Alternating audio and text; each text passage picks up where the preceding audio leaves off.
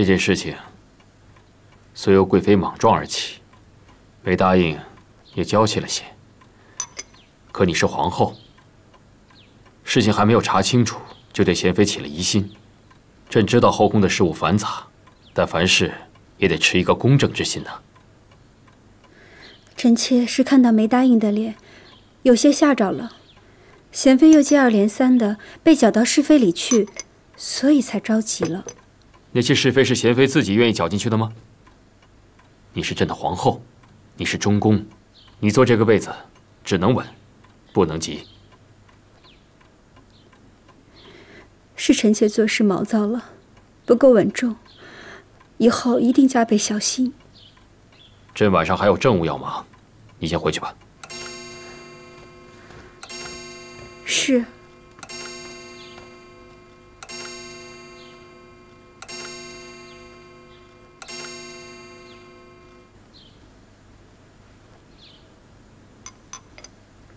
皇后娘娘，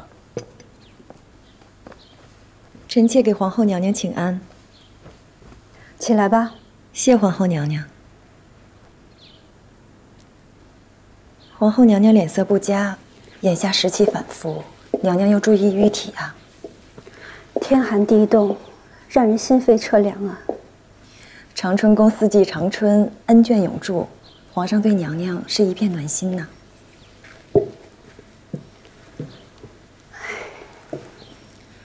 这贵妃毛躁，轻举妄动，逼得海常在与贤妃联手，又打了没答应，连累了本宫。说起来也是奇怪，这没答应的脸究竟是怎么回事儿？奴婢送去的药定然是没有问题的，可若是贤妃与贵妃都没有动手脚，那这事儿就太过蹊跷了。会不会是没答应自己动的手脚？不会吧？做嫔妃的，谁舍得往自己脸上做文章啊？不管是谁做的，这件事最后就是贤妃渔翁得利。从前她做不成嫡福晋，心里不知多怀恨呢。如今想与皇后娘娘分庭抗礼，也说不准啊。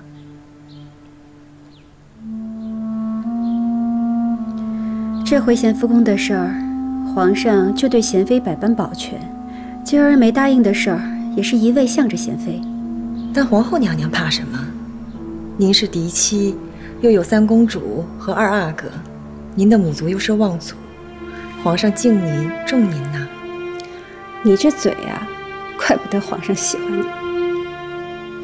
既然皇后娘娘心意疏解，那臣妾就先告退了。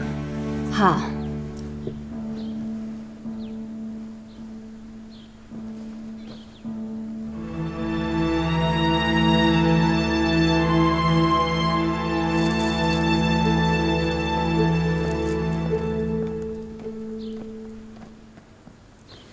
原本想借没答应的事，整肃一下后宫，不想却让皇上觉得本宫不稳重，也是本宫不好。这胭脂盒是王公公出宫时得的，特意让我拿给你。这些东西我都有，老是私交授受做什么？你可别再帮那个姓王的递东西了，拿回去。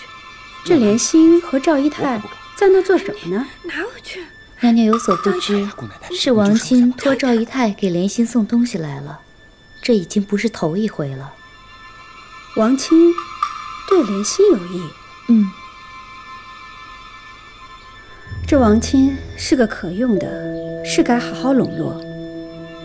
可是他终究不算个男人，否则莲心嫁给他也算是般配。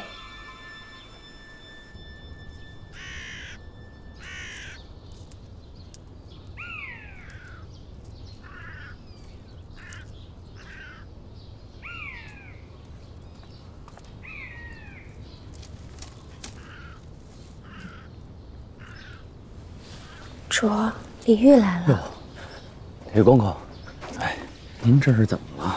没事。哎呀，怎么不过来啊？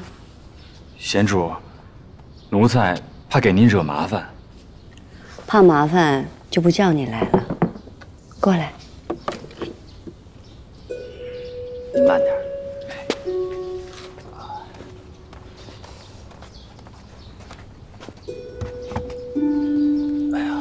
慢点。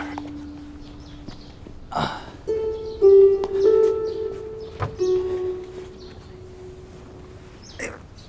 啊啊！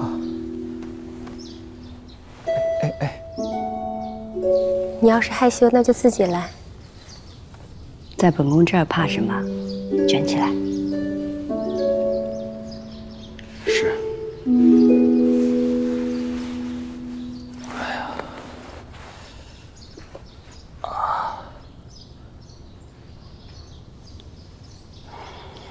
跪了多久？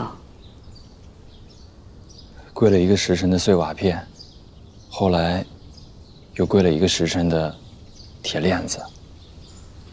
为的什么呀？有桩差事，奴才漏了几分乖，讨了皇上的喜欢，再加上又为了您去咸福宫的事儿禀告了皇上，王副总管就不高兴了，这不让他逮到机会了吗？就狠狠的罚了一通。哎哎哎哎，贤主，这是云南上贡的上好的白药粉，止血去瘀最好不过。贤主御手尊贵，可不能为奴才做这样的事啊！你要是明天想去御前伺候，就乖乖的上药。瞧你这好福气！多谢贤主。你不用多谢我，我还要多谢你呢。昨天晚上要不是你通报了皇上，我还不知道会落到什么田地。那都是奴才应该做的。李煜啊，王卿资历老，位次高，你随随便便在他面前露了聪明，是会害了自己的。巨人之下，聪明劲儿别往外露，尤其上面的人还是个不容人的。皇上喜欢你聪明，旁人不一定喜欢。待会儿回去的时候，也别漏了怨气。好好奉承着王卿，毕竟还是在他手下当差呢。原来是奴才糊涂了，多谢贤主指点。这药拿回去自己好好擦。伺候着皇上的时候要当心点儿，亮着一百二十个心眼子。奴才明白了，那奴才先走了。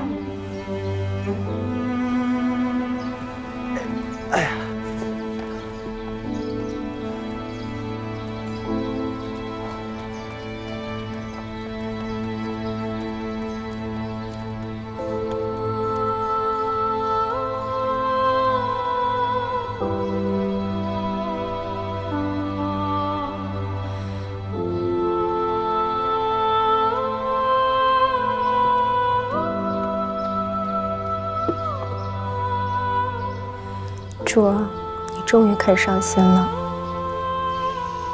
能不上心吗？连环套就这样落下来，什么时候死的都不知道。王清这个人要小心。李煜是个实诚人，是。把这个艾草拿去给海常在，他的伤用得着。是。